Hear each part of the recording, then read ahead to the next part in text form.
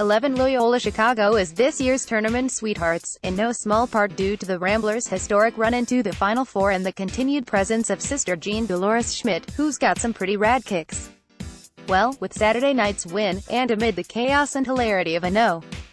11 seed finally making its way back to the Final Four, Loyola made a bit of college basketball history.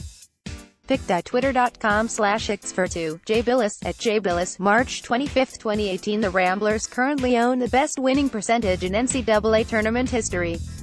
The Ramblers are now better than Duke in big dance play, which is saying something.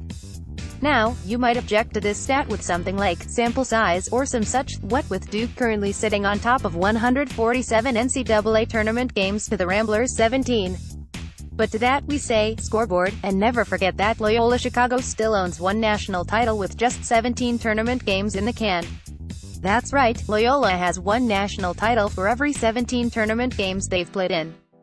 Duke, on the other hand, has one national title for every 29 games they've played in. These numbers